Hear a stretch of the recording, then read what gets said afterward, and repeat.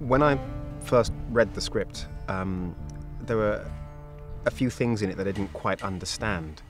And with a thriller, that's quite useful because you're always wondering, you're curious, thinking, well, this, this character is kind of strange, and how, what's this connection? And everyone seems to know each other. The script has a, a great deal of spirituality. Um, it, it's uh, laden with um, retribution and guilt, forgiveness, and um, if you like, not wanting to be too heavy about it, but a little like Henry V before the Battle of Agincourt. He, he goes through his dark night of the soul, the lead character, and comes out at the end um, in a better place.